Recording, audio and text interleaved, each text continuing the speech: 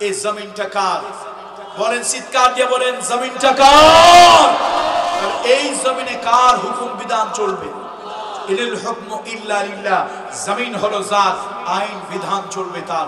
আল্লাহ বলেছেন দেশে কাজ হবে। প্রথম হলো কায়েম হবে, দুই হবে। আল্লাহ নবীর যুগে হযরত ওমরের যুগে যাকাত এমন একটা অবস্থা সৃষ্টি হয়েছে। হজরত আলী রাদিয়াল্লাহু তাআলার যুগে হজরত ওমর বিন আব্দুল আজিজের যুগে যাকাত এরকম হয়েছে। ওই যুগের মানুষের অবস্থা, আর্থিক অবস্থা অনেক বেশি ভালো ছিল না। কিন্তু তাদের মনটা ভালো ছিল। ওমর বিন আব্দুল আজিজের সময় একটা লোক বাজারে বাজারে গিয়ে ঘুরতেছে। ও বাজারের লোকেরা, আমার কাছে কিছু জাকাতের টাকা আছে। জাকাতের টাকা কে নেবে? জাকাতের টাকা কে নেবে? লোকটা একটা লোক খুঁজে বাজারের ভিতরে একটা লোক খুঁজে পেল না। যেই লোকটা বলবে, ভাই, আমার জাকাত লাগবে। আমার জাকাত লাগবে, খুঁজে পেল না। লোকটা কি করল? তার কাপড় চোপড়ের ভিতরে জাকাতের টাকাগুলি ভালো করে বেঁধে নিয়ে রওনা হলো। আর বাজারে যাবে আর একটা হাটে যাবে আর একটা এলাকায় যাবে। ওই এলাকায় গিয়া হাট বাজারের মধ্যে ঘোষণা করবে, ভাই আমার কাছে কিছু জাকাতের টাকা আছে, কে নেবে? লোকটা যেতে যেতে হঠাৎ এক জায়গায় একটু বিশ্রাম নিতে চাইলো। বিশাল বড় একটা পাহাড়ের গুহা। ওই গুহার মধ্যে লোকটা একটু আশ্রয় নিতে চাইলো, একটু বিশ্রাম করার জন্য ঢুকলো। ঢুকে দেখে একজন গরিব মানুষ। ওই গুহার মধ্যে একজন গরিব মানুষ বিশ্রাম করতেছে। জামা কাপড়টা পুরান, তার কাছে একটা বড় গাঠটি আছে। মনে হলো মাশাল্লাহ আল্লাহ তালার মেহরবানি। আমি জাকাতের টাকা দেওয়ার জন্য একজন গরিব মানুষ পেয়ে গেছি। গিয়ে আমরা একটা সালাম দিল, ভাই, আসসালামু আলাইকুম। আপনার মতো একজন গরিব মানুষ আমি তালাশ করতেছি। তিন দিন ধরে বাজারে বাজারে ঘুরতেছি। একজন গরিব মানুষ খুঁজি, আমি আমার কাছে কিছু জাকাতের টাকা আছে, তারে দেব। আল্লাহ যা করে ভালো জন্য করে। রাস্তায় চলতে গিয়া এই গুহায় বিশ্রাম করতে আসলাম। আর আপনারে পেয়ে গেলাম। নেন আপনি এই জাকাতের টাকা কিনে নেন। বেচারার মেজাজ গরম হয়ে গেল। বেচারার মেজাজ গরম হয়ে গেল। মিয়া সলিমদ্দি তুমি কয়দিন ধরে ঘরো? কয় তিন দিন। আমি এক সপ্তাহ ধরে ঘুরতেছি। তোমার কাছে জাকাতের কত টাকা? কয়, আমার কাছে জাকাতের তিনশো পাঁচশো টাকা। কয়, আমার কাছে জাকাতের পাঁচ হাজার টাকা। এক সপ্তাহ যাবত ঘুরে বেড়াচ্ছি। জাকাত কে নেবে? জাকাত কে নেবে? জাকাত নেওয়ার মতো মানুষ খুঁজে পাচ্ছি না। বন্ধুরা আমার, ওই যুগের মানুষের পাঁচতলা, দশতলা বিল্ডিং ছিল না। ওই যুগের মানুষের আপনার আমার মতো বাড়ি, গাড়ি ধন দৌলত ছিল না।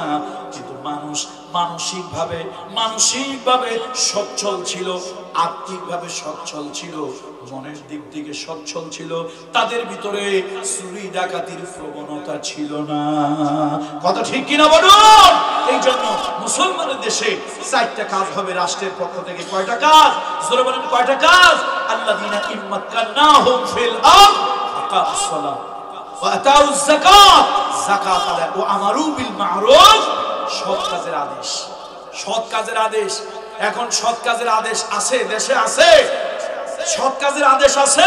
এই যে তবলিগ জামাতের ভাইরা, আমি কিন্তু খুব তবলিগকে পছন্দ করি, মাশাআল্লাহ। তবলিগ জামাতের ভাইরা দাঁড়ে দাঁড়ে মেহনত করে, তারা যেটা দেয়, এটা নসিহা, এটা সৎ কাজের আদেশ না। এটা আমর বিল মারুফ নয়। দাওয়াতে তবলিগের মেহনত যারা করেন তারা আমাদের ভাই। তারা আমাদের আপনজন। আমরা তাদেরকে ভালোবাসি, পছন্দ করি। দোয়া করি, আল্লাহ তাআলা তাদের এই দাওয়াত, এই মেহনতকে কবুল করেন, বলেন আল্লাহ আমিন। তারা যেটা দিচ্ছে, এটা সৎ কাজের আদেশ নয়, অসৎ কাজের নিষেধ নয়, আমার হলো নির্দেশ দেওয়া। আজকে আমি যদি এই এলাকায় এসে বলি, এই এলাকার বাজারে কোনো পলিথিন পেপার থাকতে পারবে না। এটা পরিবেশের জন্য দূষণ। এটা পরিবেশের জন্য দূষণ। থাকতে পারবে না। এই শোনো, এই এলাকায় কারও ঘরে কোনো বীজ থাকলে ওটা কালকেই লাগাতে হবে। এই এলাকার কোনো পানি নষ্ট করা যাবে না। লোকেরা বলবে হুজুর আপনি কে? আপনি তো পীরজাদা পীর সাহেব। আপনি আবার বন পরিবেশ মন্ত্রী কবে হইলেন? কথা ঠিক কিনা বলেন?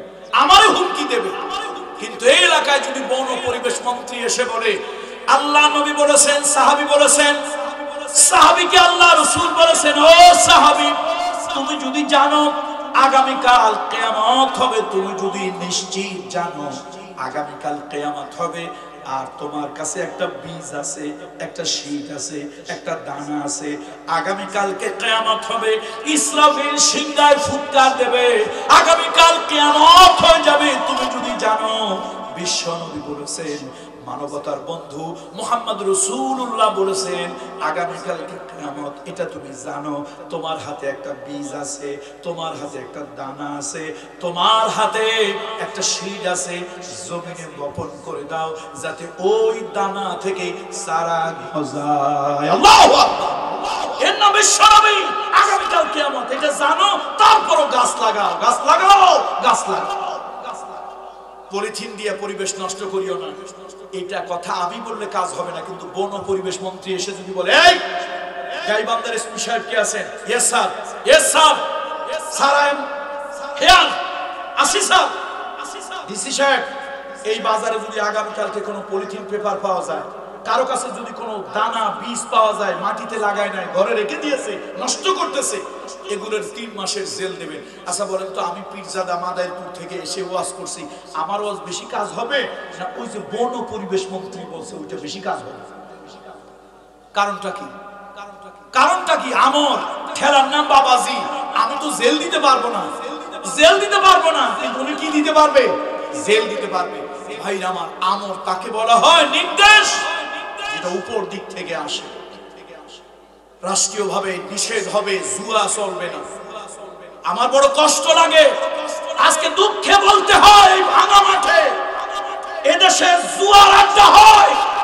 এই পাতি সাথী নেতাগুলোর কাছে পারমিশনের জন্য যাওয়া লাগে না। কিন্তু কোরআন তাফসীরের জন্য এই পাতি নেতাগুলোর কাছে পারমিশনের জন্য যেতে হয়েছে। আবার নেতা ভেটকি দেয় কি? তোদের হুজুরে বলিস, ওয়াজের নামে যেন রাজনীতি না করে। আরে বাপ রে বাপ। হ্যাঁ গেছে কোথায় এখন? কোথায়? আল্লাহ আল্লাহর এক অলি বলছিল, ইন্দুরের গর্ত খুঁজে পাবে না। আসলে অলি আল্লাহদের কথা সঠিক, ইন্দুরের গর্ত তারা খুঁজে পায় নাই পালনের জন্য। শোনো, জালিমের জন চিরদিন থাকে না। এদেশে কেসিনো হয়? যাত্রা হয়, তাতে বাধা নাই। এই জালিমেরা সব থেকে বেশি বাধা দিয়েছে, তফসির মাহফিল। এরপর থেকে যদি, এরপর থেকে যদি উক্ক খুক্ক নেতারা তফসির মাহফিল বন্ধ করতে আসে, একটা মেডিসিন দিয়ে দেই মায়ের উপরে ভিটামিন নাই। একটা কিতাব সাথে সাথে লাগাই দিবা, কিতাবটার নাম হলো কিতাবুল ফিদা। কিতাবটার নাম কি? এই কিতাবের উপর দিয়ে কোনো কিতাব নাই, এইটার উপর দিয়ে কোনো ভাইটামিন ওষুধ নাই। দেশে যাত্রা চলে, তাতে তোমাদের মাথা গরম হয় না। কেসিনিও চলে, তাতে মাথা গরম হয় না। এদেশে বাবা ইয়াবা আসর বসে, তাতে তোমাদের মাথা গরম হয় না। মদের জন্য বার খোলা হয়েছে, তাতে তোমাদের মাথা গরম হয় না। যত মাথা গরম হয়, তফসিরুল কোরআন নাফিল নাম শুনলেই।